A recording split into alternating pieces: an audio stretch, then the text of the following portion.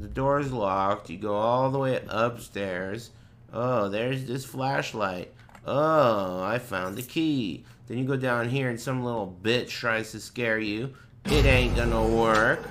Then you open the door. He's a figment as usual. You run past this little bald motherfucker and you steal his screwdriver. Yeah, yeah, whatever. Fuck you. Oh, what's this?